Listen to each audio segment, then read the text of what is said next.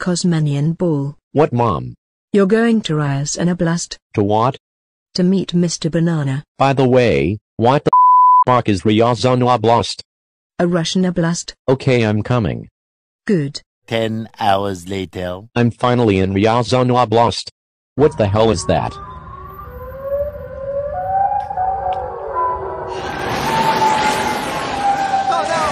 This place is messed up.